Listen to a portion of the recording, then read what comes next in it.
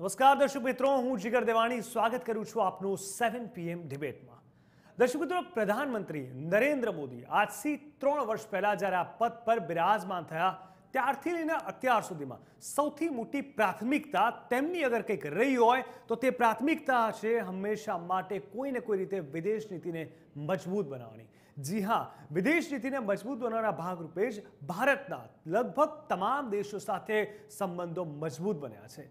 જ્યાં સુધી વાત કરવામાં આવે ઇઝરાયલની ઇઝરાયલની અહીંયા જો વાત કરીએ તો ઇઝરાયલ સાથે મહત્વપૂર્ણ કરારો કર્યા છે. આ કરારોની વાત કરવામાં આવે તો મહત્વપૂર્ણ મુલાકાતથી આ દરમિયાન આ film corporation, homeopathy, alternative medicine, defence, petroleum સહિત નવ એમઓયુ પર સાઇન કરવામાં આવ્યું અને ઇઝરાયેલના પ્રધાનમંત્રી બેન્જામિન નેત્યાનો ભારતના પ્રવાસે આવ્યા છે.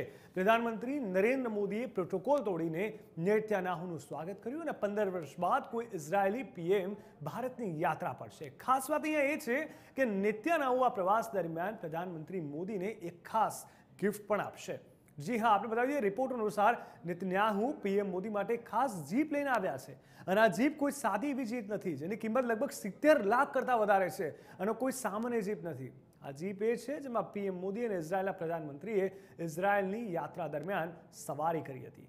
નેતાનાઓએ પોતે આ જીપ ચલાવી મોદીને ઓલંગા બીચ પર સવારી કરાવી અને આ જીપની ખાસ વાત અહીંયા એ પણ છે કે જીપ દરિયાના ખારા પાણીને પીવા લાયક શુદ્ધ પાણી બનાવે છે. એટલે કે ભારત જ્યારે કૃષિ પ્રધાન દેશ કહેવાય છે અને એવા જ સમયે ખેડૂતોની જે હાલત છે તેમના માટે આ ખૂબ જ મદદગારી સાબિત થશે.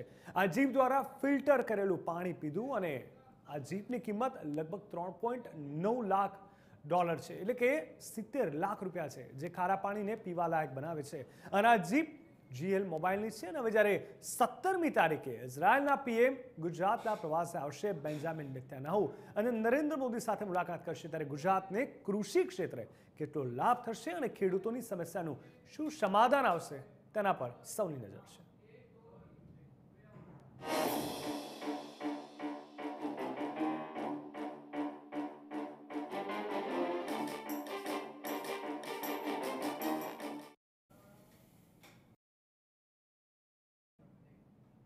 ચોક્કસથી જે રીતે પીએમ મોદીની નિત્યાનાહુ સાથે મુલાકાત થવા જઈ રહી છે, આ મુલાકાતની શરૂઆત થઈ ચૂકી છે અને સત્તરમી તારીખે, એટલે કે પરમ દિવસે જ્યારે આ મુલાકાત ગુજરાતમાં થશે, ત્યારે ગુજરાતમાં કેવી રીતે ખેડૂતોને કેટલા પ્રમાણમાં ફાયદો થશે તેના પર સૌની નજર છે.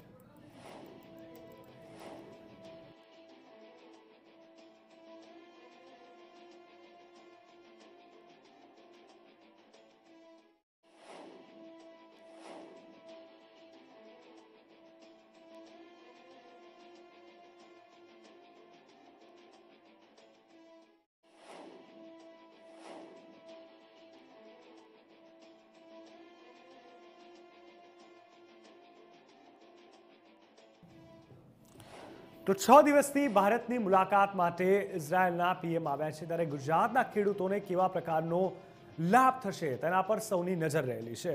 આપણે બતાવી દઈએ કે ઇઝરાયલ જે ઘણે અંશે ખેડૂતોને ખેતી ક્ષેત્રે અહીંયા મદદ કરી રહ્યું છે, મદદ કરવા પણ માંગે છે અને મદદ કરશે પણ ખરા. પરંતુ આ તમામની સાથે ખેડૂતોને કેટલા પ્રમાણમાં મદદ પહોંચે છે?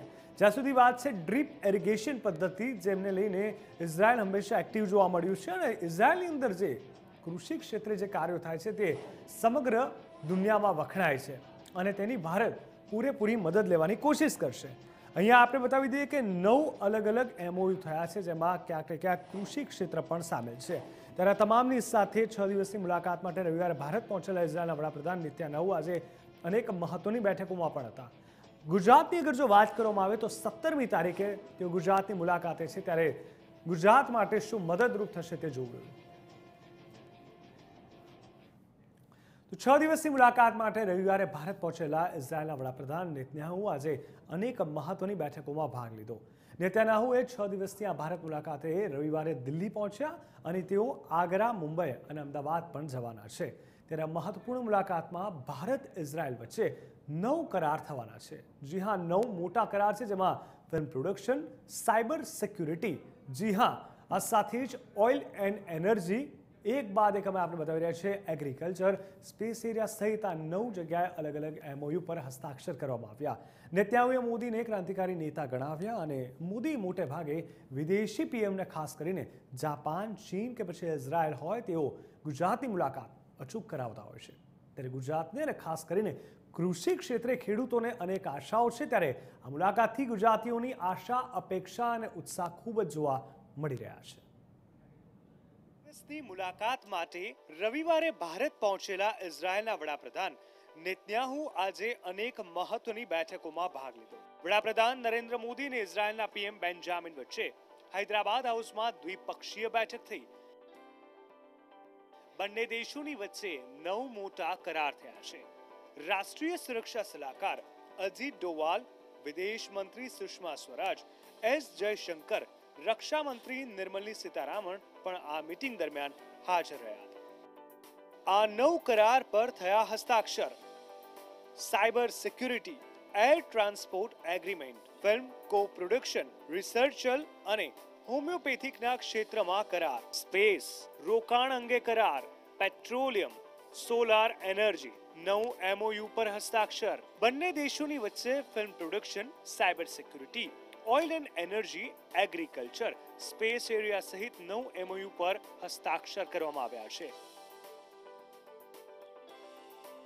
આ પ્રસંગે પીએમ મોદીએ કહ્યું કે ઇઝરાયેલના પીએમનું તેમની પ્રથમ ભારતીય મુલાકાતમાં સ્વાગત છે.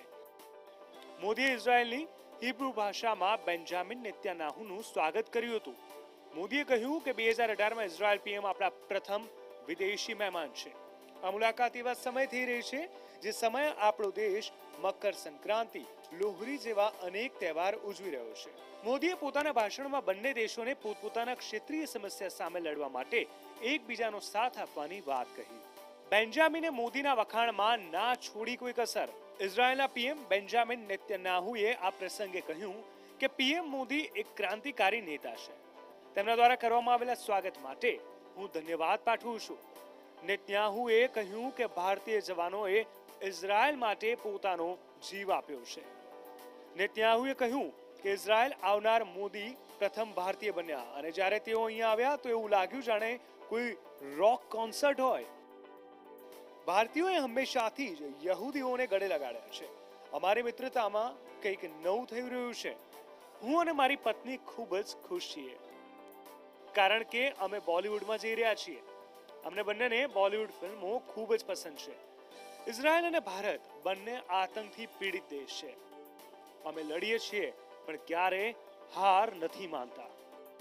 રાષ્ટ્રપતિ ભવનમાં રિસેપ્શન આ પહેલા નેતન્યાહુને રાષ્ટ્રપતિ ભવનમાં રિસેપ્શન આપવામાં આવ્યું હતું. આ સમયે નેતન્યાહુએ કહ્યું હતું કે ભારત ઇઝરાયલના સંબંધોમાં એક નવા યુગની શરૂઆત થઈ છે. રાષ્ટ્રપતિ ભવનમાં રિસેપ્શન પછી નેતન્યાહુ અને તેમની પત્નીએ રાજઘાટ પર શ્રદ્ધાંજલિ પણ આપી હતી. ત્યારે હવે સૌની નજર ઇઝરાયલના વડાપ્રધાન નેતન્યાહુ ગુજરાતની મુલાકાતે સત્તર તારીખે આવશે. ત્યારે ગુજરાતને અને ખાસ કરીને કૃષિ ક્ષેત્રે ગુજરાતના ખેડૂતોને શું લાભ થાય છે?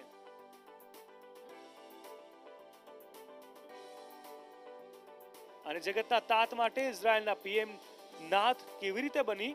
તેમના સંઘર્ષને સફળતામાં બદલવામાં સૌભાગી બનશે તે તો સત્તર તારીખે જ ખ્યાલ આવશે. પીએમ મોદીને જે રીતે ઇઝરાયલના પીએમ એક ગાડી ગિફ્ટમાં આપવાના છે, જે ખાસ કરીને કૃષિલક્ષી હશે અને ખેડૂતો માટે જે ખૂબ જ ઉપયોગી બનવાની છે ને પાણીને મીઠું કરવામાં ખૂબ જ મદદ મળવાની છે. ત્યારે ખેડૂતો માટે કેવા પ્રકારનો લાભ આગળના સમયમાં થાય છે તે તો જોવું રહ્યું.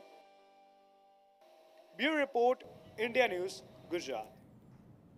તો આ જ મુદ્દાને લઈને અમારી સાથે ચર્ચા કરવા માટે જોડાઈ ગયા છે દર્શન દેસાઈ, કે જેઓ વરિષ્ઠ પત્રકાર છે, સાથે જ સાગર રબારી, કે જેઓ ખેડૂત આગેવાન છે. અને તેમની સાથે યુવરાજસિંહ રાણા, જેઓ કોંગ્રેસ નેતા છે. આપ સૌનું ખૂબ ખૂબ સ્વાગત છે ઇન્ડિયા ન્યૂઝ ગુજરાતમાં. સૌપ્રથમ દર્શનભાઈ આપણે પૂછવા માંગીશ, જે રીતે ઇઝરાયલના પીએમ, એટલે કે બેન્જામિન નેત્યાનાહુ બેન્જામિન નેત્યાનાહુ જે રીતે ભારતની મુલાકાતે આવ્યા છે ને જે ઐતિહાસિક મુલાકાત ગણાય છે. ખાસ કરીને એક ખૂબ જ વોર્મ વેલકમ પણ તેમને કરવામાં આવ્યું છે. મને સૌપ્રથમ તો એ જણાવશો, આ મુલાકાતથી ભારતને અને ભારત ઇઝરાયલના સંબંધોને શું ફાયદો થશે, શું ફેરફાર થશે આપને લાગી રહ્યું છે?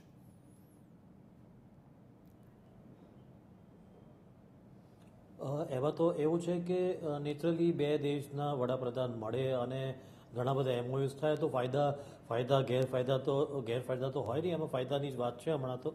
એ તો થશે. હવે આમાં એવું છે કે કરારો જે થાય છે ઘણા બધા દેશો સાથે કરારો થાય છે. એમાંથી ખરેખર કેટલું અમલ છે થાય છે કેટલું પબ્લિસિટી સ્ટન્ટમાં જાય છે કે કેટલું કઈ રીતે જાય છે એ તો સમય જ બતાવશે. પણ જ્યારે આપણે અત્યારે ગુજરાતની વાત કરી રહ્યા છીએ તો ગુજરાતમાં આપણે આ તમે જે કહ્યું એ પ્રમાણે ગુજરાતના ખેડૂતોને શું શું લાભ થઈ શકે છે કારણ કે ઇઝરાયલ ખેતી પ્રધાન દેશ છે એ લોકોએ આપણે શું કહેવાય રેગિસ્તાન રેગિસ્તાન એટલે રણમાંથી ખેતી તૈયાર ઊભી કરી છે અને આજે આખું આખી દુનિયા એને વખાણે છે. એવું કંઈ ગુજરાતમાં કામ થયું નથી અત્યારે ઘણા વખતથી. અને અને ખરેખર તો ખેડૂતોની પરિસ્થિતિ ગુજરાતમાં બહુ જ ખરાબ હાલત છે અત્યારે. તો બહુ જ ખરાબ ખેડૂતોની પરિસ્થિતિ છે. એટલે આમાં જો એક આંકડો પણ આપી શકાય છે કે લગભગ ગુજરાતમાં જેની પાસે જમીનો હોય એવા ખેડૂતો ફક્ત સાડા ત્રણ લાખ રહી ગયા છે. છેલ્લા અગિયાર અગિયાર વર્ષમાં ડાઉટફોલ આવ્યો છે. એની સામે લગભગ સત્તર લાખ જેટલા ખેડૂતો હતા એ ખેડૂત કારીગર બની ગયા છે. એટલે શું કહેવાય ફાર્મ લેબરર્સ બની ગયા છે જેને આપણે કહીએ. એ આખું બતાવે છે આખું ટોટલ જે સરકારનું ફોકસ એ કૃષિ તરફથી હટી રહ્યો છે. કૃષિ ખેડૂતોની જમીનો જતી રહે છે. ખેડૂતોને પાણી નથી મળતું એ અંગે સાગરભાઈ વધારે કહે છે. પણ જે રીતે જમીનો જતી રહી રહી છે એટલે આખું ફોકસ ખેડૂતોથી સરકારનું ખસી રહ્યું છે. એ નેશનલ લેવલે અને એ સ્ટેટ લેવલે દેખાઈ રહ્યું છે. એટલે વડાપ્રધાન નેતન્યાહુ સાથે શું મુલાકાત કરે છે શું નક્કી કરે છે શું સાઉન્ડ બાઇટ્સ તો એ તો બધું બરાબર છે. પણ ખરેખર ઓન ધ ગ્રાઉન્ડ કેટલું થાય છે અને કેટલો લાભ ખરેખર આપણને મળી શકે એ તો સમય જ બતાવશે. બિલકુલ. હવે જ્યાં સુધી વાત છે દર્શનભાઈ કરારોને લઈને, શું લાગે છે આ કરારો? કારણ કે એમઓયુ આપણે ગુજરાત તો ઘણા સમયથી જોતું આવ્યું છે.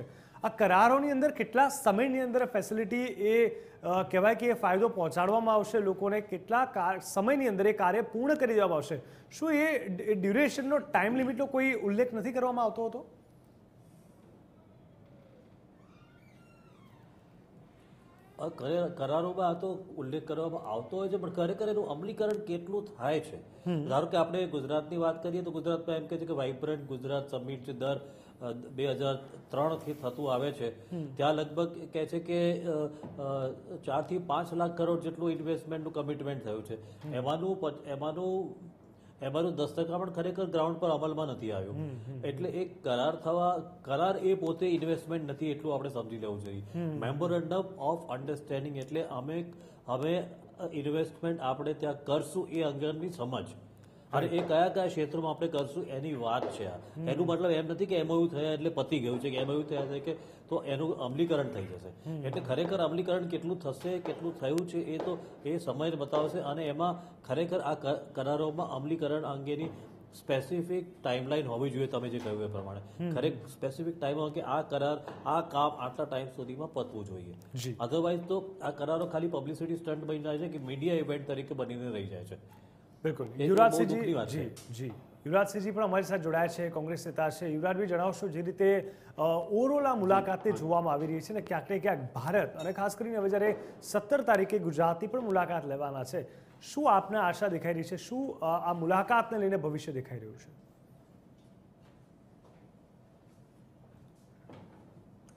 પ્રથમ તો મહેમાન છે અને ગુજરાત મહેમાન નવાઝીમાં પ્રખ્યાત પણ છે.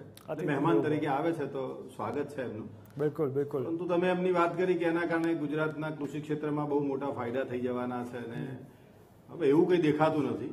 એટલે એના માટે તો હું તો એવું કહેવા માંગીશ કે પહેલા તો દાનત હોવી જોઈએ. ખેડૂતને સમૃદ્ધ બનાવવા માટે કે ખેતીમાં કંઈ સફળતા લાવવા માટે કે ઉત્પાદનને વધારવા માટે ખેડૂતોની સદ્ધરતા વધારવા માટે એના માટે મૂળ જે સરકાર ભારતીય જનતા પાર્ટીની સરકાર ગુજરાતમાં છેલ્લા ત્રેવીસ ચોવીસ વર્ષથી છે અને અત્યારે પણ સરકારમાં આવી છે એમની મૂળ દાનત હોવી જોઈએ. એટલે મૂળ આ સરકારની ખેડૂતો માટેની દાનત જ નથી કે એ સમૃદ્ધ બને કે એમના માટે કોઈ હિતકારી યોજનાને અમલી બનાવે. એટલે જ્યાં રાજા જ આ હાલતમાં છે તો એના કારણે નેતાન્યાહુ આવે ઇઝરાયલથી આવે કે કોઈ પણ આવે અથવા તો ગમે તેવી નવી ટેકનોલોજી આવે એનાથી કઈ ખેડૂતોના હાલ સુધરી જાય. એવું કઈ થઈ જવાનું નથી એવું કઈ ચમત્કાર થઈ જવાનો નથી. જી. ખેડૂતોના હાલ સુધારવાની તો વાત જ બાજુ પર જવા દો. હમણાં ચાર દિવસ પહેલાની જ વાત છે. આ સરકાર મોટી મોટી વાતો કરતી હતી નર્મદા ડેમના દરવાજા લાગી ગયા એટલે ગુજરાત સમૃદ્ધ થઈ જશે અને ખેડૂતો સમૃદ્ધ બની જશે અને બધાને પાણી મળી જશે. પરંતુ બે દિવસ પહેલા ત્રણ દિવસ પહેલા એમણે જાહેરાત કરી કે ભાઈ ઉનાળુ વાવેતર માટે અમે નર્મદાનું પાણી ખેડૂતોને આપીશું નહીં. સિંચાઈ આમની ગુજરાતમાં ભારતીય જનતા પાર્ટીની સરકારને બોલવાનું કંઈ કરવાનું કંઈ? એટલે જ્યારે આવી સ્થિતિ હોય ત્યારે નેતાન્યાહુ આવે કંઈ નવી ટેકનોલોજી લાવે? હા ટેકનોલોજી એમની પાસે સારી છે. વિશ્વમાં એ આજે અગ્રેસર છે. અને એમાં ખાસ કરીને એગ્રીકલ્ચર ક્ષેત્રમાં સૌથી મોટો ફાળો એમનો છે. પરંતુ એ એમની જગ્યાએ બરાબર છે. પરંતુ એને અહીંયા કેટલું એ લોકો વાસ્તવમાં અમલમાં મૂકે છે. એ તો જે તે ગુજરાતની મોજૂદા સરકારના પર જ નિર્ભર છે. અને આ સરકારને જોઈને એવું લાગતું નથી કે એવું કંઈ કરવા ઈચ્છતા હોય. એટલે ગુજરાતમાં સૌથી પહેલો તો માનો કે સમસ્યા છે તો પોષણક્ષમ ભાવોની છે. હવે અહીંયા ઉત્પાદન જે થાય છે એ ઇઝરાયલના પ્રમાણમાં ઘણું બધું ઓછું છે. ઇઝરાયલના કરતા કદાચ પાંચમા પાંચ ગણું પાંચમા ગણું છે. છતાં પણ જો એના પોષણક્ષમ ભાવો નથી આપી શકતા અને એનું જે વધારાનું સરપ્લસ પ્રોડક્શન છે એને ભારત બહાર મોકલીને કે એનો કોઈ યોગ્ય નિકાલ કરવાની વ્યવસ્થા જ નથી.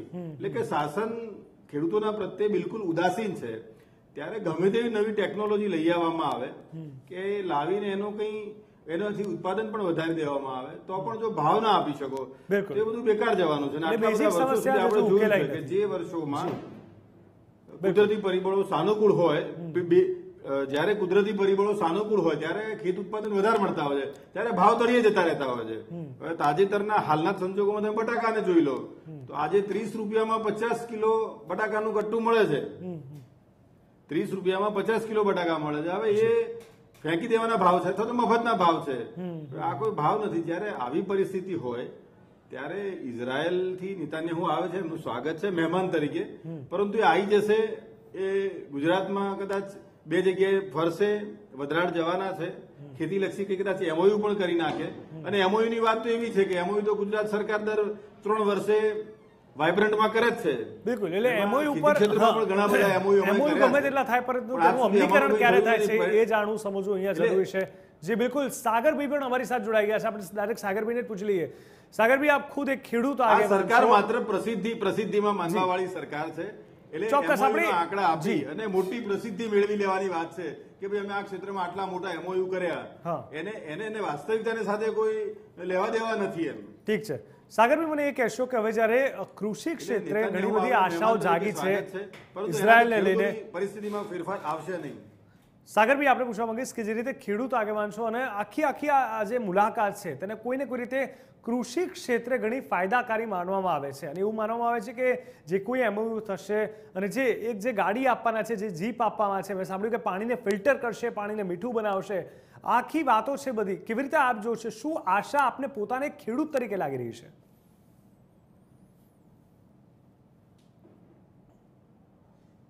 એક ચીપ આપે જે પાણીને ફિલ્ટર કરીને મીઠું કરે એટલે આખા ગુજરાતના ખેડૂતોને મીઠું પાણી મળતું થઈ જશે. એ જીપની ક્ષમતા કેટલી છે? આ પ્રોપગંડા છે. મૂળ મુદ્દાની વાત એ છે કે આજના વડાપ્રધાન જ્યારે ગુજરાતના મુખ્યમંત્રી તરીકે બાતેર વર્ષ રહ્યા એમણે ક્યારેય ગુજરાતમાં કૃષિ નીતિ બનાવી ખરી. ગુજરાત પાસે એગ્રીકલ્ચર પોલિસી જ નથી. હમ, ગુજરાત સિંચાઈમાં ઘણા બધા રાજ્યો કરતા ઘણું પાછળ છે. હજી ગુજરાતમાં માંડ પચાસ ટકા વિસ્તાર છે. એમાં પણ કેનાલનું ટ્યુબવેલનું કુવા અને તળાવોનું મળીને માંડ અડતાલીસથી પચાસ ટકા વિસ્તારને સિંચાઈની સગવડ મળે છે. તમે ડ્રીપ કરો કે સ્પ્રિંકલર કરો પણ એમાંથી બહાર કાઢવા માટે પાણી તો જોઈશે. એ પાણીની વ્યવસ્થા શું કરવાનું છે ગુજરાત? એનો કદી કોઈ જવાબ આપતો નથી. ઓકે. જે સરદાર સરોવર નર્મદા યોજના બરાબર વિધાનસભાની ચૂંટણી પહેલા એવું કહેવાતું હતું કે ડેમ પર દરવાજા લાગી ગયા ગુજરાતના વિકાસના દ્વાર ખુલી ગયા. નર્મદા રથ ગુજરાતના ગામડે ગામડે ફર્યો. વિધાનસભાની ચૂંટણી પતી ગઈ. ત્યાં સુધી નર્મદા યોજનામાં ગુજરાતના ખેડૂતો માટે પાણી હતું. એનું ગૌરવ લેવાતું હતું. જેવી વિધાનસભાની ચૂંટણી પતી કે સરકારે જાહેરાત કરી દીધી કે પંદરમી માર્ચથી ખેડૂતોને પાણી નહીં મળે. ક્યાં ગયું પાણી. ચૂંટણી પહેલા હતું ને ચૂંટણી પછી જતું રહ્યું પાણી. જે કોઈ પાણી છે ડેમમાં એ પાણીનો હિસાબ તમને ગુજરાત સરકાર આપે તો તપાસ કરી જોજો. સરદાર સરોવર નર્મદા નિગમ નેતાન્યાહુની મુલાકાતથી ગુજરાતના ખેડૂતનો કોઈ ઉદ્ધાર થવાનો નથી. ગુજરાતના ખેડૂતનો ઉદ્ધાર ત્યારે જ થશે કે જ્યારે ડેમમાં ભરાયેલું અને રોજે રોજ કેનાલમાં છોડાતા પાણીનો સરદાર સરોવર નર્મદા નિગમ ગુજરાતના ખેડૂતોને હિસાબ આપશે. સરદાર સરોવર ડેમમાં કોઈનો ભોગ લેવાયો હોય તો મધ્યપ્રદેશ મહારાષ્ટ્ર અને ગુજરાતના આદિવાસી સમાજનો એમણે બલિદાન આપ્યું ગુજરાતના ખેડૂતો માટે. અઢાર લાખ પિસ્તાલીસ હજાર હેક્ટર જમીનને સિંચાઈ આપવા માટે. આજે માંડ ત્રણથી સાડા ત્રણ લાખ હેક્ટરમાં સિંચાઈ આપે છે ગુજરાત સરકાર. છેતરપિંડી એવી કરે છે વાસ્તવિક સિંચાઈના આંકડા એમની વેબસાઇટ પર ક્યાંય મૂકતા નથી. પોટેન્શિયલ સંભાવના. એટલે શું?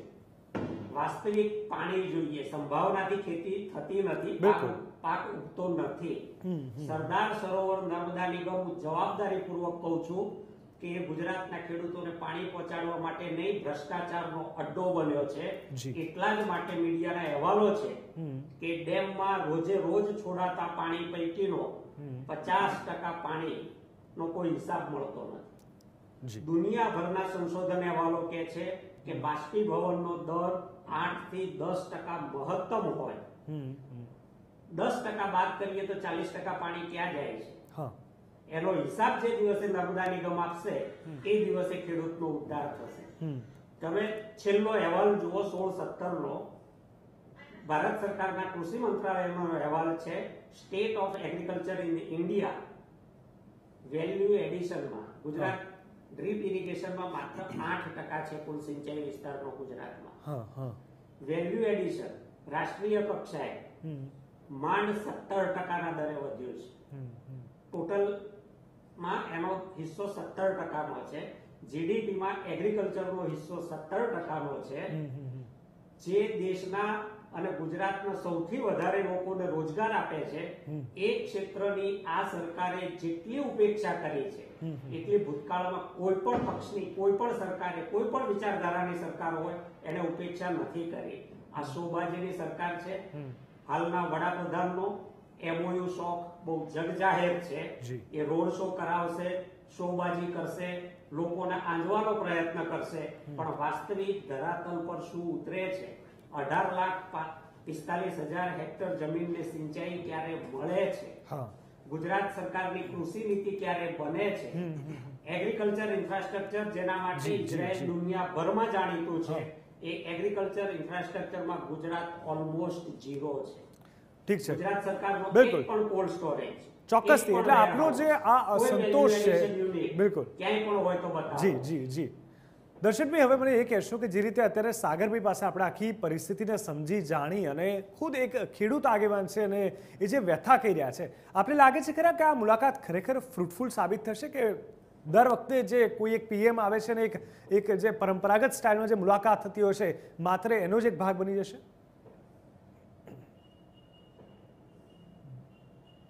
અત્યાર સુધીમાં તો એવું નહીં થાય, એવું કંઈ દેખાઈ નથી રહ્યું.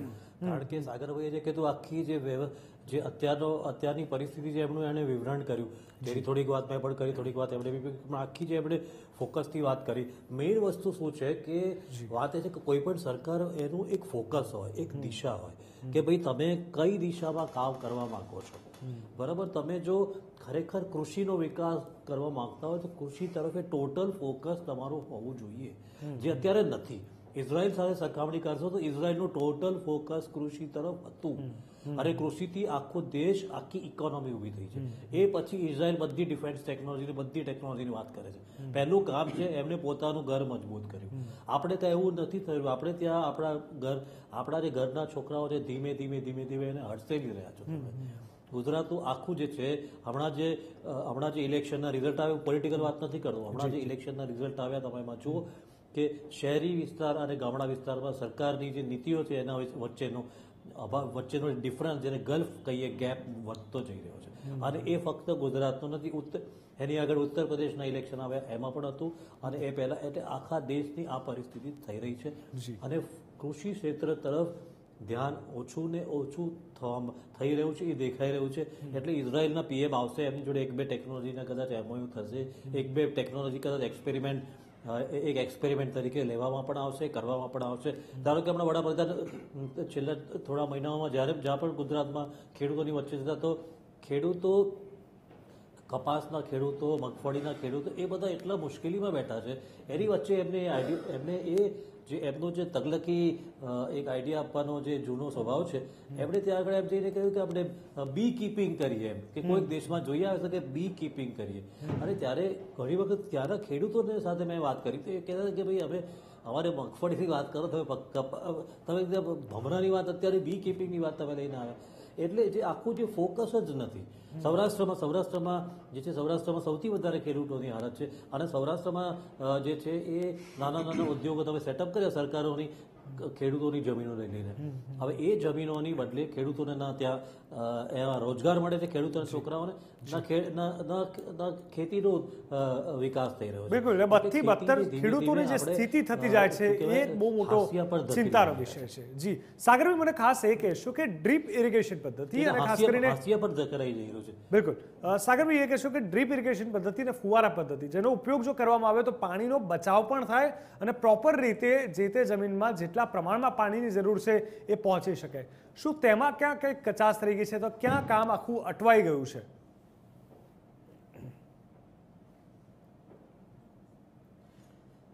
ડ્રીપ અને ફુવારા પદ્ધતિથી ખેતી કરવાથી પાણીનો બચત થાય. સો ટકા સાચી વાત છે. એનાથી પાક ઉત્પાદન પણ સારું મળે. સાચી વાત છે. પણ મૂળે પાણી જોઈએ. રાઈટ જે ગુજરાતમાં નથી. ગુજરાતમાં પાણીની કુદરતી વહેંચણી જોઈએ. તો ઓગણત્રીસ ટકા ભૌગોલિક વિસ્તાર ધરાવતા દક્ષિણ ગુજરાત પાસે સિત્તેર ટકાથી વધારે પાણી છે. સૌરાષ્ટ્ર પાસે બાણ પંદર ટકા છે. હમ.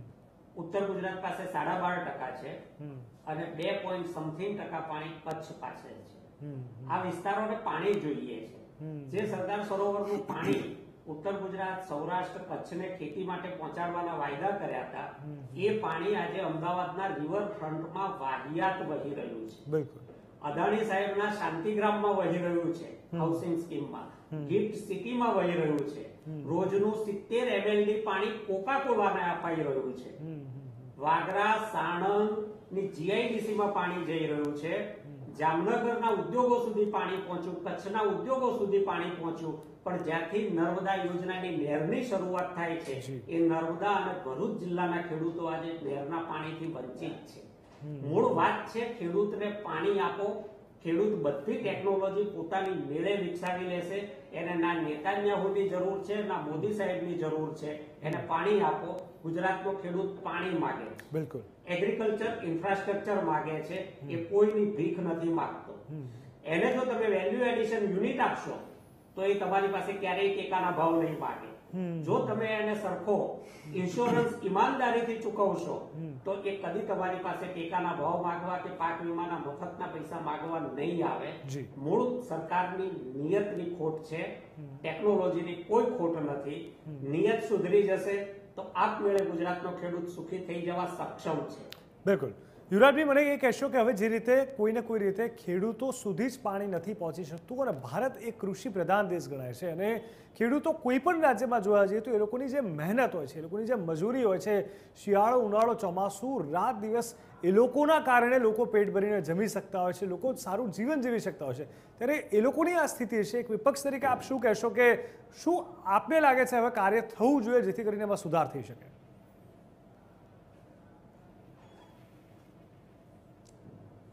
ખરેખર તો ભારત આપણે ખેતી પ્રધાન દેશ એવું કહીએ છીએ. અને મોટા ભાગના આપણા દેશના અને ગુજરાતના પણ લોકો ગામડાઓમાં જ વસે છે. અને આપણી આવકનો પણ મોટો હિસ્સો અને રોજગારીનો પણ મોટો હિસ્સો ખેતી સાથે સંકળાયેલો છે. પરંતુ આપણે ખેતીને ઉપેક્ષિત કરી છે. ઉપેક્ષા એની સતત કરી છે. એના માટે ચોક્કસ કોઈ નીતિ નથી કોઈ નિયમો નથી. એ બધું રામ ભરોસે ચાલે છે. અને આવા સંજોગોમાં નેતાને શું આવે કે કોઈ પણ નેતા આવી જાય અથવા તો કંઈ પણ મોટી મોટી વાતો કરી નાખવામાં આવે તો એના માટે કે ખેડૂતોની પરિસ્થિતિ સુધરી શકે એમ નથી. ખેડૂતોની પરિસ્થિતિ સુધારવા માટે એમની જે પાયાની જરૂરિયાત છે એમાં છે પાણી. એટલે પાણી આપણી પાસે જે કંઈ છે અવેલેબલ જે કંઈ છે એ એ આપવાની એક તો સરકારની દાન જ નથી.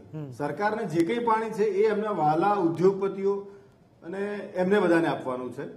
અને એ પણ માત્ર ખાલી પીવાના પાણી માટે અમે નથી આપતા ખેતીમાં ને એવા બહાના હેઠળ. એટલે એવા રૂપાળા બાના કરીને પછી બાકીના એમના ઉદ્યોગોને આપે છે અને ખેતીને આપવા માંગતા નથી. એ બાકીને ખેડૂતોને જો પાણી આપે અને એમને જે ઉત્પાદન થાય છે એ ઉત્પાદનનો પૂરેપૂરો એમને ભાવ મળે.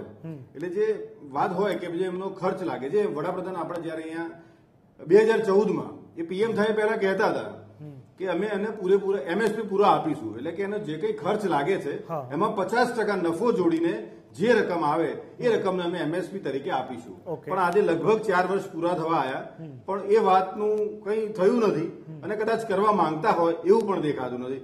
એટલે મૂળે સરકાર અથવા તો એની દાનત જ નથી કે ખેડૂતો સમૃદ્ધ થાય ખેતી સમૃદ્ધ બને. એટલે ખેતી આજે પરિસ્થિતિ એવી છે કે ઇઝરાયલની વાત કરીએ તો ત્યાં ખેતીને એક ઉદ્યોગ તરીકે લે છે. જ્યારે અહીંયા આગળ ખેતી જેની પાસે કોઈ વિકલ્પ જ ના હોય એ જ ખેતી કરે છે. અરે ગામડાઓમાં તો એવી વિકટ પરિસ્થિતિ છે કે જેનો છોકરો પરણવા લાયક થયો અને પૂછે શું કરો છો? તો કે ખેતી. તો એને કોઈ કન્યાય નથી આપતું. એવી બહુ ખરાબ પરિસ્થિતિમાં આપણે આજે મુકાયેલા છીએ. તો ત્યાં માત્ર ખાલી એની ખેડૂતની મૂળ જરૂરિયાતો જે છે પાણી અને ભાવ એ બે જો આપી દેવામાં આવે, તો બાકીનું બધું તો ખેડૂત આપણો અહીંયા એટલો સક્ષમ છે અને એટલો બધો મહેનતુ છે કે બાકીનું તો બધું એની જાતે કરી લે છે. મને એ કહેશો દર્શનભાઈ, હવે જ્યાં સુધી આપણે ઓવરઓલ ખેડૂતોની આખી સ્થિતિ જોઈ રહ્યા છે અને કૃષિને લઈને જ્યારે આશા અપેક્ષાઓ આપણી વધી ગઈ છે, એક સામાન્ય વાતની પણ અગર જો વાત કરવામાં આવે તો મગફળીના કપાસના, જેના ટેકાના ભાવ પણ નથી મળી રહ્યા અને એને લઈને વારંવાર હડતાલ થાય છે, આંદોલન થાય છે, ખેડૂતો રજૂઆત કરી કરીને થાકી ગયા છે. ક્યાં લાગી રહ્યું છે કે સુધાર લાવવાની જરૂર છે. સિસ્ટમની અંદર કઈ વસ્તુ? કારણ કે ડ્રીપ ઇરિગેશન ફુવારા પદ્ધતિ ગમે તેટલી ડેવલપ કરો, પરંતુ પાણી જ નહીં હોય તો કશું નહીં થાય. પેલું જે કહેવત છે ને, જે કૂવામાં હોય તો હવાડામાં આવે એના જેવું એમ. એ જ રીતે જે ટેકાના ભાવોને લઈને વારંવાર જે રજૂઆતો કરવામાં આવતી હોય છે, ત્યાં પણ ક્યાંક સરકાર હજી એટલી ગંભીર નથી જોવા મળી. તો કયા કયા એવા એરિયા છે આપણે લાગી રહ્યા છે કે જ્યાં સરકારે ગંભીર થવાની જરૂર છે?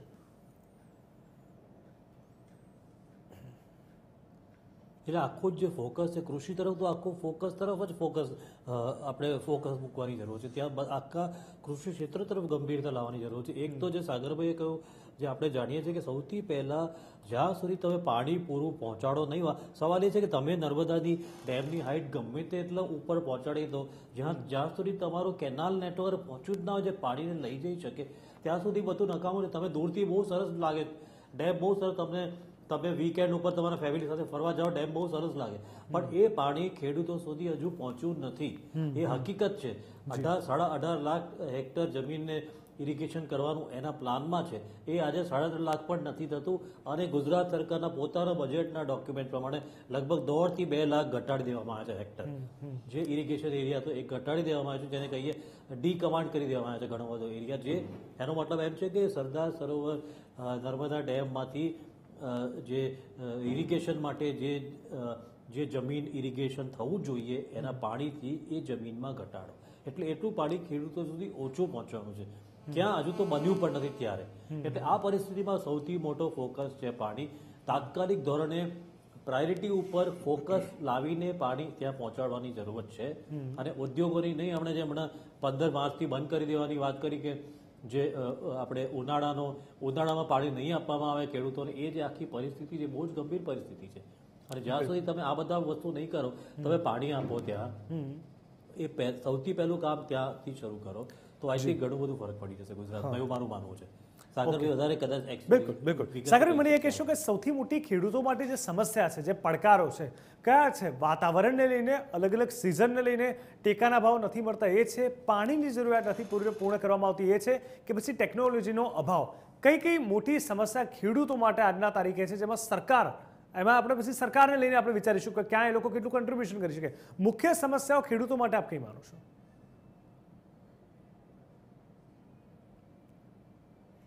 ખેડૂતો માટે મુખ્ય સમસ્યા છે એગ્રીકલ્ચર પોલિસી એગ્રીકલ્ચર ઇન્ફ્રાસ્ટ્રક્ચર અને વેલ્યુ એડિશન યુનિટ આપનો અવાજ નથી આવી રહ્યો ફરી એકવાર જણાવશો. આપનો અવાજ એકદમ ધીમો આવી રહ્યો છે. ફરી એકવાર જણાવશો. નથી રહેતો. ખેડૂતો માટે તાત્કાલિક ગુજરાતમાં કોઈ જરૂર હોય તો ગુજરાત સરકારની એગ્રીકલ્ચર પોલિસીની ઓકે.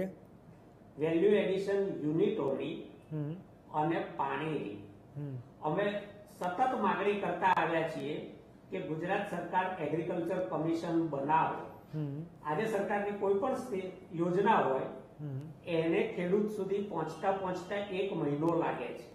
ઇવન ટેકાના ભાવે ખરીદી કરવાની જાહેરાત થયા પછી વીસ દિવસ પહેલા ક્યારેય ખરીદી શરૂ થતી નથી. ત્યાં સુધી ખેડૂતના હાથમાંથી માલ નીકળી જાય છે. એટલા માટે અમે એગ્રીકલ્ચર કમિશન માંગીએ છીએ કે તમે કોર્પોરેટ મિત્રો માટે એક સિંગલ વિન્ડો સિસ્ટમ કરી શકતા હો તો ખેડૂતો માટે એક એગ્રીકલ્ચર કમિશન કેમ ના કરી શકો? જે એના તમામ સવાલોનો જવાબ મળે. ગુજરાતના ખેડૂતની બીજી સૌથી મોટી જરૂરિયાત કોઈ હોય તો પાણી છે. ચાર લાખ કરતા વધારે વીજળીના કનેક્શનોની અરજીઓ દસ વર્ષથી ગુજરાત સરકાર પાસે પેન્ડિંગ પડી છે. એમને ગુજરાત સરકાર વીજળી શા માટે નથી આપતી? ગુજરાત બે હજાર ચારમાં ઇલેક્ટ્રિસિટી સરપ્લસ સ્ટેટ બન્યું છે.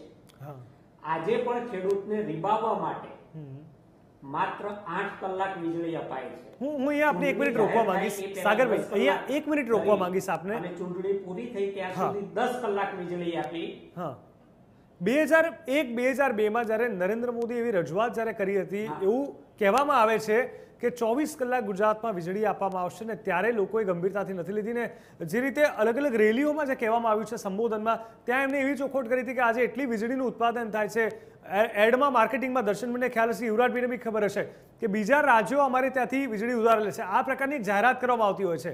એટલે હું સાગરભાઈ આપની પાસે જાણવા માંગીશ કે શું ખરેખર કેટલા કલાક વીજળી આપવામાં આવતી હોય છે? કારણ કે રજૂઆત અને જાહેરાત માર્કેટિંગ ને બ્રાન્ડિંગમાંથી એવું બતાવે છે કે ગુજરાતમાં ચોવીસ કલાક વીજળી છે. ખેડૂતોને માત્ર આઠ કલાક વીજળી મળે છે. એ પણ એક અઠવાડિયું દિવસે અને એક અઠવાડિયું રાત્રે જેથી એ સિંચાઈ કરી ન શકે. રાત્રે કોઈ મજૂર ન મળે. ખેડૂતે જીવનું જોખમ વેઠવું પડે સિંચાઈ કરવા માટે. ગુજરાતના ખેડૂતને માત્ર આઠ કલાક ગુજરાત સરકાર વીજળી આપે છે. એ પણ ઓલ્ટરનેટ ડે નાઇટ આપે છે. જે કોઈ રેલીઓમાં જાહેરાતો થાય છે એની પાછળનું તથ્ય સમજવા જેવું છે. આ સરકાર કેવી રીતે છેતરપિંડી પર જીવે છે અને છેતરપિંડી પર ચાલે છે? ગુજરાત સરકારના પોતાના પાવર પ્લાન્ટો હતા એનું પ્રોડક્શન સતત ઘટ્યું છે ઘણું ઘટી ગયું છે. ગુજરાતમાં જે કંઈ વીજળીનું ઉત્પાદન છે એ પાછળથી આવેલા પ્રાઇવેટ પાવર પ્લાન્ટોનું છે.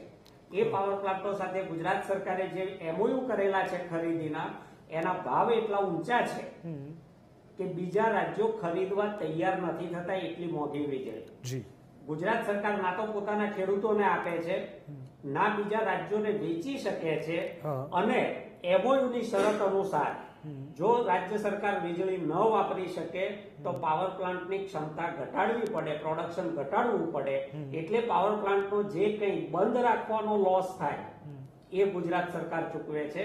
આ બંધ રાખવાના લોસની જે આખી ગેમ છે એમાં જ આખો ભ્રષ્ટાચારનું બહુ મોટું બારણું ખોલેલું છે. પાવર પ્લાન્ટો બંધ રાખો સરકાર પાસેથી મબલક કમાવો.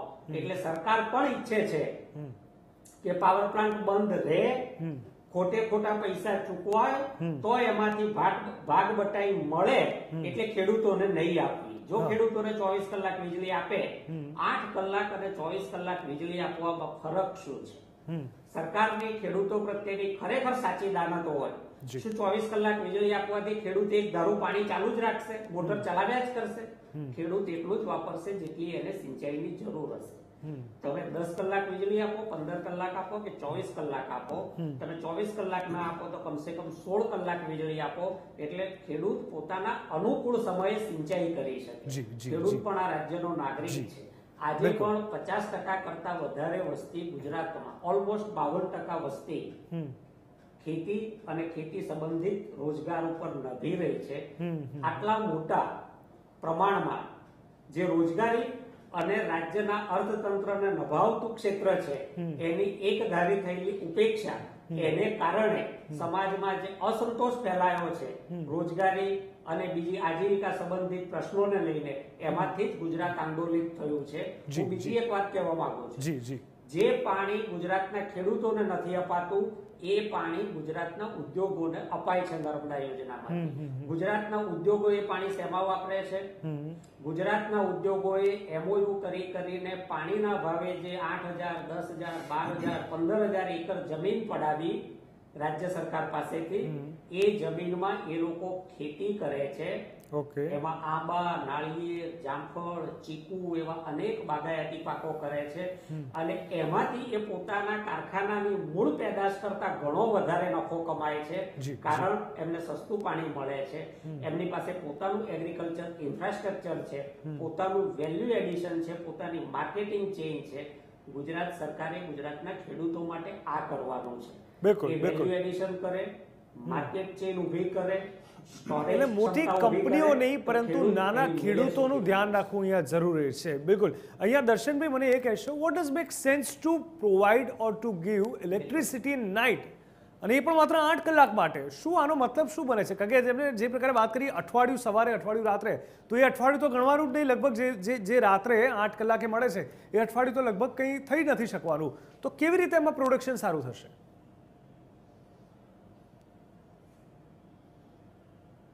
એટલે એ તો જે હમણાં જે સાગરભાઈએ કહ્યું- કે આખી જે પેલી ગેમ જે છે બંધ રાખવાનું કે વીજળી ડાયવર્ટ કરવાની એ આખી ગેમ છે આમાં.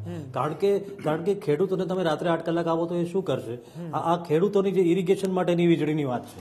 આ જે વાત થઈ છે કારણ કે ગુજરાત સરકાર પેલી જ્યોતિગ્રામ યોજના બતાવે છે. જ્યોતિગ્રામ યોજના જે છે એ એ મારા ખ્યાલથી આની સાથે કોઈ લેવા દેવા નથી એની. ના એને લેવા દે. એ રેસિડેન્શિયલ તો રેસિડેન્શિયલ માટે બતાવે છે. એટલે જે સરકાર એ બતાવે છે. અને જ્યારે બતાવવાનું હોય ત્યારે એ બતાવવામાં આવે છે ચોવીસ કલાક અમે આ આપીએ છીએ. ત્યારે કોઈ જોવા નથી આવતું કે તમે ખેડૂતોને આપો છો કે ઘરોને આપો છો. અને એમાં પણ તમે આઠ કલાક રાત્રે આપવાના હોતો તો એનો આટલો આખો આખો જે પર્પઝ છે એ એ સોલ્વ નથી થતો. અને આઠ કલાકમાં તો એવું છે કે આઠ કલાકમાં તમે થોડી ઓછી આપો તો વાંધો ના આવે.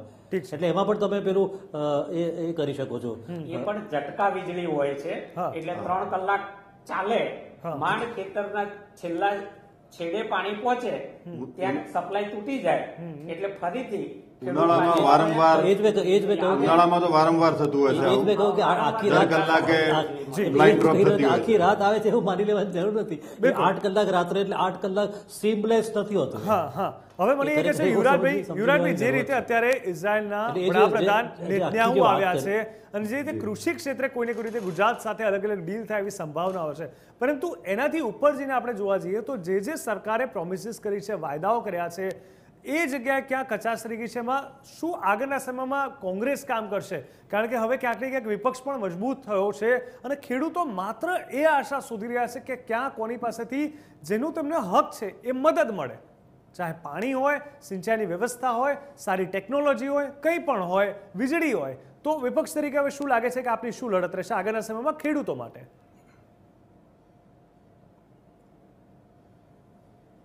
કોંગ્રેસ હંમેશા ખેડૂતોની સાથે રહી જ છે આ ઇલેક્શનમાં ગત ઇલેક્શનમાં કોંગ્રેસે એના ઢંઢેરામાં ચૂંટણીમાં પણ વચન આપેલું કે જો કોંગ્રેસ સત્તા પર આવશે તો આઠ કલાકના બદલે એમને સોળ કલાક વીજળી આપવામાં આવશે અને એ પણ દિવસના સમય દરમિયાનમાં જ આપવામાં આવશે.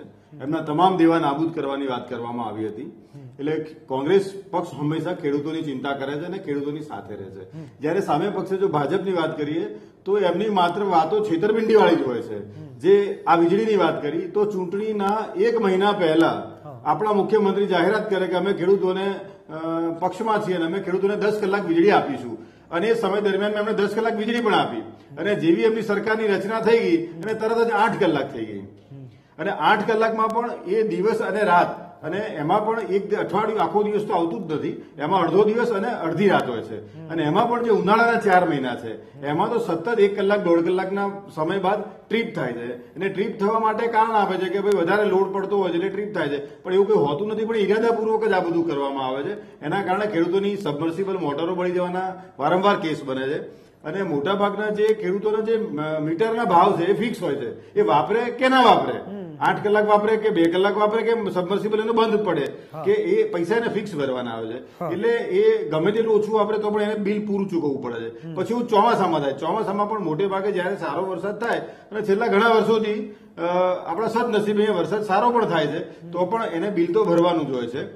એટલે અહીંયા મૂળ જે સરકાર છે એની મૂળ ખેડૂતો માટેની સારી નીતિ જ નથી. ખેડૂતોના માટે સારું ઈચ્છતા જ નથી. ખાલી મોટી અને સારી વાતો કરે. એટલે અત્યારે માનો કે નર્મદા ડેમની વાત કરીએ તો અત્યારે હાલ સરકારી આંકડા મુજબ એકસો અઢાર મીટરની ઊંચાઈ સુધી પાણી સ્ટોર થયેલું છે. તો હવે અત્યાર સુધી આટલી હાઈટ સુધીનું જ પાણી હતું અને છતાં ખેડૂતોને પાણી મળતું હતું. તો આ વર્ષે જ એવું કઈ બની ગયું કે ભાઈ એકસો અઢાર મીટર સુધી સરકારી આંકડા પ્રમાણે જ પાણી છે છતાં ખેડૂતોને નહીં આપવામાં આવે. એટલે માત્ર એમને ખેડૂતો સાથે અન્યાય કરવાની જ વાત છે. એટલે ખેડૂતો કદાચ એમને ગમતા નથી અને ખેડૂતોને કદાચ એમના ગરીબોથી પણ એલર્જી જ છે કદાચ. એમને ખેડૂતો પણ ગમતા નથી. આ માત્ર ઉદ્યોગપતિઓ અથવા તો એમના માટેની જ સરકાર છે આ. એટલે નેતાને હું આવે કોઈ સારી નવી ટેકનોલોજી લઈ આવે સારી વાત છે. પણ એનાથી આ સરકારની કે ભાજપની ખેડૂતો માટેની જ્યાં સુધીની એમની પોતાની ઈચ્છા નહીં હોય ત્યાં સુધીની ખેડૂતોમાં કે ફેરફાર થઈ જવાનો નથી. ઠીક છે, મને સાગરભાઈ એ કહેશો કે હવે જ્યાં સુધી મને ખ્યાલ છે, ત્યાં સુધી ગુજરાતની અંદર એક લાખ કરોડ હેક્ટર જમીન ખેતી લાયક છે. પરંતુ ત્યાં સિંચાઈની વ્યવસ્થા જોવા જઈએ કે ઓવરઓલ ખેતીને લઈને વાત કરવામાં આવે તો માત્ર ચૌદ લાખ હેક્ટર પૂરતી જ સીમિત બને છે અને ત્યાં ત્યાં જ ખેતી થઈ શકે છે. તો બાકીની જગ્યાએ જે ખેતી લાયક હોવા છતાં ખેતી નથી થતી, તેની પાછળ કયા પરિબળો ભાગ ભજવી રહ્યા છે?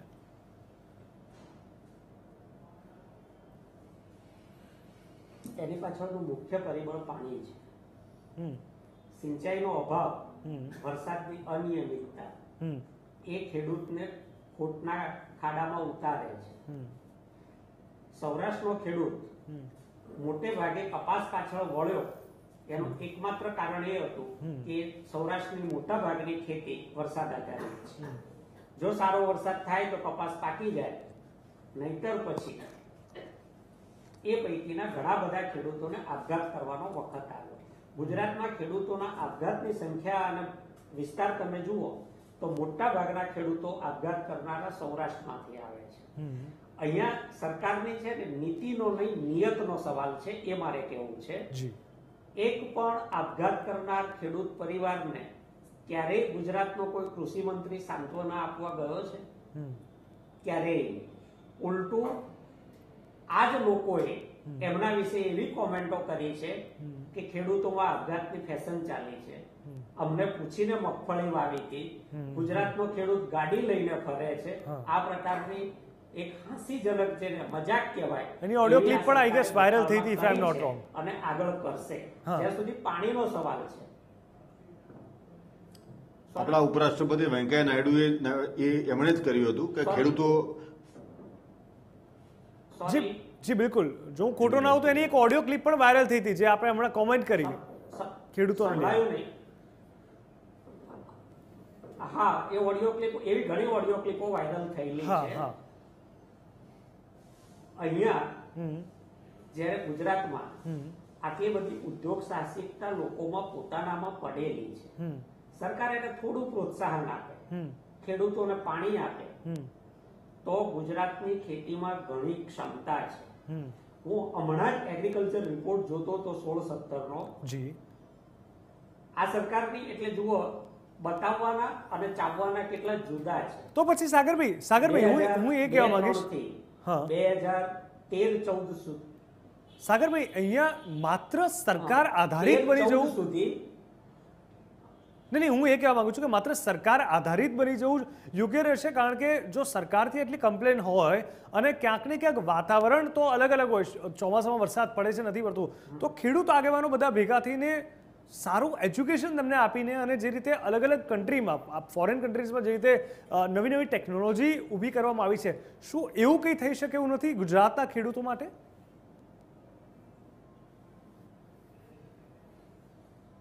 ગુજરાતનો ખેડૂત ઘણું કરી શકે એમ છે. પણ હું મારી જે આગળ વાત કરતો હતો એ આ સંદર્ભમાં હતો કે જ્યારે ગ્લોબલાઇઝેશન થયું ગેટ કરાર પર સહી કરી ભારત સરકારે તમે ઇન્ટરનેશનલ માર્કેટમાં ખુલી ગયા છો. વ્યક્તિગત કોઈ પણ રાજ્યનો ખેડૂત ઇન્ટરનેશનલ માર્કેટમાં ટકી શકે નહીં. એમાં સરકારે જ ખેડૂતની રક્ષણ આપવું પડે અને એ રક્ષણ રોકડમાં નથી હોતું એ નીતિઓથી આપવાનું રક્ષણ હોય છે. હું એના જ આંકડા અગાઉ આપતો હતો કે બે હજાર બે ત્રણથી બે હજાર તેર ચૌદ સુધી ભારત સરકારની કૃષિ નિકાસો ખૂબ વધી છે. એના કારણે કપાસના પંદરસો રૂપિયા સુધી મળ્યા મગફળીના બારસો રૂપિયા સુધી ભાવ મળ્યા એમ દરેક ખેત ઉપજમાં ખેડૂતોને સારો ભાવ મળ્યો. બે હજાર ચૌદ પંદર પંદર સોળ અને સોળ સત્તર ના તમે કોમર્સ મિનિસ્ટ્રીના આંકડા જુઓ ભારત સરકારની નિકાસો પચાસ ટકા જેટલી ઘણા પાકોમાં ઘટી ગઈ છે અને વિદેશથી થતી આયાતો વધી ગઈ છે. જ્યારે તમે વિદેશથી આયાત કરીને સ્થાનિક બજારમાં માલ ઠલવો છો ત્યારે સ્થાનિક બજાર એની સામે સ્થાનિક ખેડૂત હરીફાઈ ન કરી શકે એટલે સરકારની જરૂર પડે છે. કારણ આયાત નિકાસની નીતિ ભારત સરકાર નક્કી કરે છે. સ્થાનિક ખેડૂતને રાજ્ય સરકારે રક્ષણ આપવાનું હોય છે. જો આ સરકાર કરવામાં નિષ્ફળ જતી હોય તો પછી સરકારની જરૂર શું છે? જી જી જી. મારો સવાલ એ છે કે. સરકાર શેને માટે? આપણે શા માટે ચૂંટીએ છીએ સરકાર? હવે દર્શનભાઈ હું એક અગત્યનો સવાલ ખૂબ સમય ઓછો છે. હું આપની વાત સમજી ગયો સાગરભાઈ ક્યાંક ને ક્યાંક સરકારે પોતે સક્રિયતાથી ખેડૂતોને મદદ કરવી પડશે. ખુદ ઇનિશિયેટિવ સરકારે હવે કરવું પડશે. સાગરભાઈ ખૂબ સમય ઓછો છે. દર્શનભાઈ હું આપને એ પૂછવા માંગીશ જે રીતે મસમોટું બજેટ ખેડૂતો માટે કૃષિલક્ષી ફાળવવામાં આવે છે દર વર્ષે એ બજેટનું આખરે શું થાય છે? ખૂબ ટૂંકમાં કારણ કે જ્યારે બજેટ ફળવાય છે ત્યારે ખેડૂતોની આશા પણ હોય છે કે હવેના સમયમાં કાર્યો પૂર્ણ થશે. પરંતુ ઠેરની ઠેર સ્થિતિ દર વર્ષે જોવા મળતી હોય છે. આપ તમે જુઓ તો છેલ્લા તમે જે કહ્યું સમય ઓછો છે તો તે છેલ્લા થોડા બજેટો તમે જોઈ લો તો આપણે શિક્ષણ ક્ષેત્ર છે આરોગ્ય ક્ષેત્ર છે ખેતી ક્ષેત્ર છે એ બધામાં ધીમે ધીમે બજેટ ઓછું થઈ રહ્યું છે. સાગરભાઈ પાસે એક્ઝેક્ટ આંકડા હશે કે એક લાઈન એમાં કહેવા માંગીશ હા એ સાગરભાઈ કહેશે. એટલે એ એ મુદ્દો મારો સાગરભાઈ પૂરો કરશે કે બજેટોમાં આ ટોટલ જે છે એલોકેશન ઓછું થતું રહ્યું છે. સૌથી મોટી વસ્તુ એ છે. એટલે આ આ તમે તમે પોતે જ તમારી પ્રાયોરિટી બતાવીને તમે એલોકેશન ઓછું કરતા જાઓ છો ત્યારે તમે કયું મોટું તમે એલોકેશન બતાવી દીધું? તમે જે સવાલ પૂછો એનો જી જી જી જી એનો સાગરભાઈ. મારે આ માં એક જ વાક્ય કહેવું છે હા. કે એલોકેશન સર્વસ્વ નથી. ઓકે. એલોકેશન થયા પછી કેટલું વપરાયું? હા. સ્પેન્ટ એમાઉન્ટ અને અનસ્પેન્ટ એમાઉન્ટ બિલકુલ. એ જાહેર જો સરકાર કરે તો એના બધા જ રહસ્યો ખુલી જાય એટલે કે અમલીકરણ પર પણ સવાલ. જે ફરી એકવાર એના જેવી વાત થઈ ગઈ. એટલે મોટો આંકડો એનાઉન્સ કરવામાં આવે છે હા હા હા અમલીકરણ અને એનું બ્રેકઅપ. ક્યાં વાપરો છો એનું બ્રેકઅપ કે કારણ કે તમે તમે એવું છે કે આ બધા બજેટ ડાયવર્ટ પણ થાય છે. તમે રસ્તો બનાવવા માટે તમે બનાવ્યો એ પણ એના બજેટમાં ગણવામાં આવે છે. એટલે તમે એને ખરેખર ક્યાં વાપરો છો? ધારો કે મોટા ભાગના તમે સરકારી જે તમે ક્ષેત્ર કીધા એમાં જે જેનું બજેટ છે એનું મોટા ભાગનું છે તમારા સેલરી સેલરી ને બીજા બધા જે રોજબરોજના પેમેન્ટમાં જાય છે. જે મુખ્ય વેલ્યુ એડિશન માટેનું જે બજેટ હોય એ- વેલ્યુ એડિશન માટેનું કેટલું ખરેખર બજેટ આવે છે એ તમને ખ્યાલ જ નથી આવતો આંકડાની માયા બિલકુલ, જાણો બિલકુલ. આખી આખી વસ્તુ જે છે એ ચોક્કસથી એટલે માત્ર બજેટ નહીં પરંતુ કેટલું વપરાયું છે કેટલું કઈ જગ્યાએ ફળાયું છે કયા વિસ્તારમાં કયા ખેડૂતોને આપવામાં આવ્યું છે એ પણ જરૂરી છે. યુવરાજભાઈ કોંગ્રેસ નેતા આવ્યા અને કેવી રીતે ખેડૂતોને મદદ કરવી જોઈએ અથવા તેમાં વિપક્ષ તરીકે શું સક્રિયતાથી ભાગ ભજવશે દનલીને માહિતી આપી. યુવરાજભાઈ આપનો ખૂબ ખૂબ ધન્યવાદ. સાથે દર્શનભાઈ દેસાઈ વરિષ્ઠ પત્રકાર અને સાગર રબારી જેઓ ખુદ ખેડૂત આગેવાન છે જે જેમની વાસ્તવિક સ્થિતિ ખેડૂતોની ગુજરાતમાં શું છે તેને લઈને માહિતી અને માર્ગદર્શન આપ્યા. આપ સૌનો ખૂબ ખૂબ ધન્યવાદ. તો દર્શક મિત્રો, આ તમામની વચ્ચે એક વાત તો જાણવી સમજવી જરૂરી છે કે ઇઝરાયલના પીએમ નેતન્યાહુ અહીંયા ગુજરાતની મુલાકાતે સત્તરમી તારીખે આવશે. અતિથિ દેવો ચોક્કસથી વેલકમ. પરંતુ જે કોઈ પણ મસમોટા એમઓયુ થાય છે, એ કેટલા સમયમાં પૂર્ણ કરવામાં આવશે? ખેડૂતોને કઈ કઈ જગ્યાએ કેટલા પ્રમાણમાં ફાયદો પહોંચાડવામાં આવશે? અને આ તમામની વચ્ચે સરકાર કોઈ ને કોઈ રીતે સિંચાઈ માટે શું વ્યવસ્થા ઊભી કરી છે? પાણી કેટલા સમયમાં કેટલું આપે છે અને ટેકાના ભાવોને લઈને જે આંદોલન હડતાલ કરવી પડે છે, તેમાંથી આ ખેડૂતોના સમસ્યામાંથી ક્યારે બહાર લાવે છે? સરકારે પોતે પણ સક્રિયતા થવાની જરૂર છે અને સાથે સાથે ખેડૂતોએ પણ કોઈને કોઈ રીતે સરકાર પર આધારિત નહીં, કારણ કે વાતાવરણનો કોઈ ભરોસો નથી હોતો. એવામાં પોતે પણ ભેગા થઈને નવી નવી ટેકનોલોજી વિકસાવીને પોતાના ક્ષેત્રની અંદર એક સારો વિકાસ કરે ને સરકાર પોતે પણ મદદ કરે તો જ કદાચ કહેવાશે, કારણ કે આ દેશની વાત કરવામાં આવે તો એક આર્મીનો જવાન અને ખેડૂત, આ બે વગર ભારત દેશની કોઈ પણ દેશ નકામો છે. એટલે આ બે મજબૂત પાયા છે. જો એ મજબૂત હશે, તો ચોક્કસથી ચારે બાજુ વિકાસ જ વિકાસ છે ડિબેટમાં બસ આટલું જ.